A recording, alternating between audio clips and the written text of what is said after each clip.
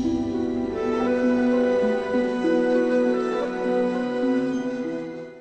اللہ الرحمن الرحیم۔ الحمد للہ وحدہ والصلاة والسلام علی من لا نبی بعد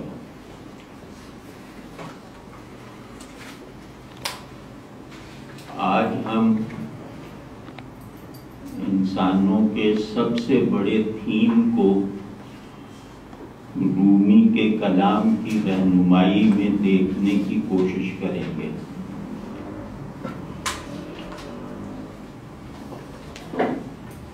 انسان کے لیے خود شناسی کی کیفیت اور حالت، انسان کے لیے خود شناسی کی ضرورت ہر علم سے زیادہ ہے۔ بلکہ یوں کہنا چاہیے کہ علم کی بنیاد خود شناسی پر ہے۔ ہم جو علم بھی رکھتے ہیں، ہم چیزوں کا جو شعور بھی رکھتے ہیں، وہ خود شناسی کی تفصیل ہے۔ تو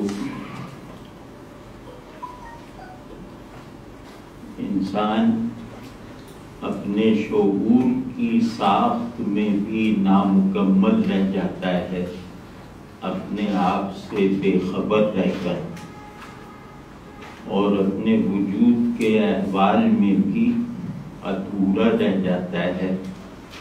اپنی خود شناسی کو اپنا حال بنائے بغیر، اپنا عمل بنائے بغیر، اور اپنی سائیکک کنڈیشنز کی بنیاد بنائے بغیر۔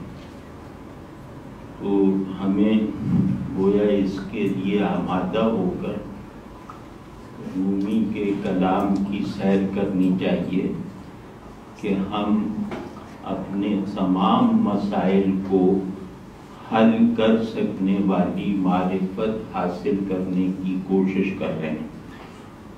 تو اب اس کی ذرا سی تفصیل کر دیتے ہیں کہ خود شناسی کے حدود کیا ہیں۔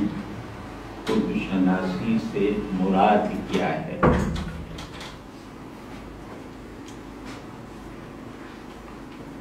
دنیا کی ہر تہذیب میں، تاریخ کے ہر دور میں انسانوں میں پائی جانے والی ہر روایت میں اس چیز کو یا اس سوال کو سب سے بنیادی حیثیت دی جاتی رہی ہے کہ اپنے آپ کو کیسے پہچانا جائے۔ یعنی وہ جو ڈیلفی وغیرہ کے آثار ہیں، قدیم ترین جو روایتیں محفوظ حالت میں ہم تک پہنچی ہیں، مثلاً ایپک آف گلگامش وغیرہ جو ہزاروں سال پرانے ہیں۔ ان میں بھی یہی مشترک ہے۔ یعنی تمام تہذیبیں اپنے ذہن کی تعمیر جس طرح آدمیوں کا ایک افراد کا ایک ذہن ہوتا ہے، اسی طرح تہذیب کا بھی ایک ذہن ہوتا ہے۔ تو تمام تہذیبی ذہنوں میں سب سے بنیادی منصوبہ تھا نو ڈائی سیلف اپنے آپ کو پہچانو۔ یعنی قدیم ترین ہندو تاریخ سے، قدیم ترین چینی تاریخ سے۔ غرض تمام تہذیبوں کی جو اساسیات ہمارے سامنے ہیں، ان سب میں یہ چیز مشترک ہے کہ نو ڈائی سیلف اپنے آپ کو جانو، خود کو پہچانو۔ مطلب ڈیلفی کے مندر پہ یونان میں فیسا غورس کے باقیات میں اس طرح کے کتبے ملے ہیں جن پر یہ تحریر ہے ان کی اپنی اپنی زبانوں میں کہ خود کو پہچانو۔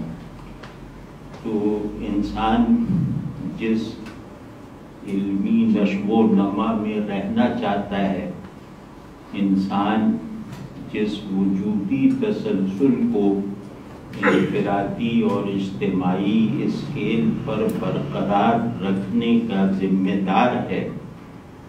اس کی بنیاد اسی ایک چیز پر ہے یعنی خود شناسی پر۔ تو جتنا آدمی کے شعور میں خود آدمی واضح اور روشن رہے گا اتنا اس کے شعور میں یہ صلاحیت پیدا ہوگی کہ وہ اپنے غیر کا علم حاصل کر سکے۔ تو اگر فلسفے کی دو اصطلاحوں کو یا نفسیات کی دو اصطلاحوں کو کام میں لا کر بات کہی جائے، تو وہ یہ ہوگی کہ آبجیکٹ کا علم سبجیکٹ کے علم کے بغیر ناممکن ہے۔ یہ مطلب کلیہ ہے، یہ اصول ہے۔ اور شاید ہر آدمی یہاں فلسفے وغیرہ کا طالب علم نہ ہو، تو سبجیکٹ اور آبجیکٹ سے مراد ہے آدمی اور دنیا۔ یعنی آبجیکٹ شے کو کہتے ہیں، جس پہ ذہن اپلائی ہوتا ہے۔ اور سبجیکٹ میں کو کہتے ہیں۔ سبجیکٹ آدمی ہے آبجیکٹ دنیا ہے۔ تو ہمارے ذہن اور ہمارے شعور کی کلینکل بناوٹ ایسی ہے کہ ہم خود کو جان لینے کے نتیجے میں دنیا کو پہچانتے ہیں۔ یعنی دنیا کے علم میں خود شناسی کا جوہر مرکزی حیثیت سے کار فرما رہتا ہے۔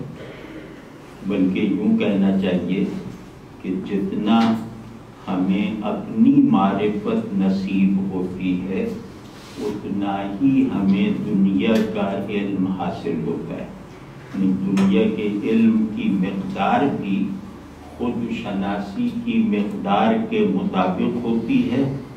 اور اس کا معیار بھی خود شناسی کے معیار سے مماثلت رکھتا ہے کہ جتنا جتنے معیاری طریقے سے ہم اپنے آپ کو جانیں گے، اتنی ہی گہرائی کے ساتھ اتنے ہی بلند اسی معیار کے ساتھ ہم دنیا کو پہچانیں گے۔ تو یہ اصول ہے۔ اور یہ فطرت شعور ہے۔ کیونکہ شعور خود شعوری کے بغیر حرکت نہیں کر سکتا، یہ دوسرا نقطہ ہے۔ یعنی شعور خود کو جانے بغیر اپنے آبجیکٹ کا تجزیہ نہیں کر سکتا۔ یہ واضح ہے، نہیں بات کہ جو ہمارے اندر چیزوں کا علم ہے، اس علم کا بنیادی مادہ وہ علم ہے جو ہم اپنے بارے میں رکھتے ہیں۔ ہم چیزوں کے اندر اتنی ہی گہرائیوں میں اتر سکتے ہیں جتنی گہرائیوں میں ہم خود شناسی کے معاملے میں اپنے اندر اتر سکتے ہیں۔ تو خود شناسی، جہاں شناسی کے حدود متعین کرتی ہے۔ یہ ایک بات اور دوسری بات یہ مطلب اس کو تھوڑا سا اور آبجیکٹیفائی کر کے کہیں دوسری بات یہ ہے کہ دنیا کیا ہے کا ہر جواب انسان کیا ہے کے سوال کے جواب کے نتیجے میں فراہم ہوتا ہے؟ یعنی دنیا کیا ہے کہ ہر صورت انسان کیا ہے کہ مسئلے پر غور کرنے سے سمجھ میں آتی ہے؟ تو گویا علم اپنے آپ کو جان کر اور اپنے آپ کو جاننے کے انداز میں دنیا کو پہچاننے کی کوشش کا نام ہے۔ تو سب سے، جو شعور میں سب سے بنیادی چیز ہوتی ہے، وہ ہوتی ہے تصور انا، تصور خودی، میں کا ادراک۔ یعنی شعور ایک سادہ سلیٹ کی طرح اگر فرض کر لیا جائے تو اس سلیٹ پر جو پہلا لفظ لکھا جاتا ہے، وہ لفظ ہے میں۔ پھر اس میں کی حیثیت اس بیج کی ہوتی ہے، جس بیج سے علم کا پورا جنگل پیدا ہوتا ہے، پورا جنگل اٹھتا ہے۔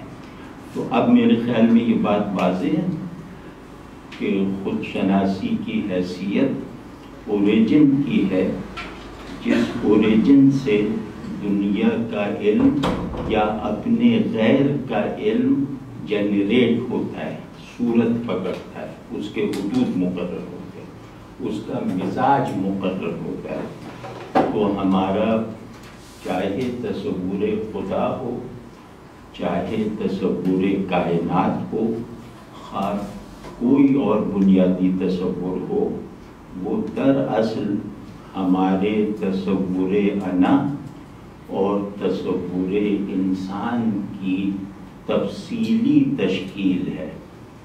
تو اس بات کو سمجھنا چاہیے اور اس بات کو اس لیے سمجھنا چاہیے کہ ہم اس پروجیکٹ، اس مضمون کی اہمیت کا ادراک اور احساس کریں کہ اپنے آپ کو جان لینے پر ہی سب کچھ موقوف ہے۔ یعنی یہ نہیں ہو سکتا کہ ہم خود سے غافل ہو کر دنیا کے حقائق کو جاننے کی کوشش بھی کر سکیں۔ کیونکہ خود اپنے یہ جو انا ہے، یہ خودی جو ہے، یہ وہ مستقل پوزیشن ہے جس پوزیشن پر شعور اپنے آپ کو کھڑا کر کے اپنی طرف بھی نکاح کرتا ہے اور دنیا پر بھی نظر ڈالتا ہے۔ یعنی انا جو ہے وہ شعور کی بنیادی ترین ساخت ہے۔ یہ انا کے موقف پر کھڑے ہو، کھڑے ہوئے بغیر دنیا کا مطالعہ نہیں کر سکتا۔ یہ انا پر کھڑے ہونے کی حالت ہی میں کسی چیز کے علم کے علم کو حاصل کرنے کی درست پوزیشن لیتا ہے۔ تو شعور ہر معاملے میں، اپنے ہر فعل میں، اپنی ہر حرکت میں انا کی پوزیشن لے کر چیزوں کو دیکھتا ہے۔ اور یہ ایک، یہ کوئی نظریاتی یا تصوراتی بات نہیں ہے، یہ ایک کلینکل بات ہے۔ تو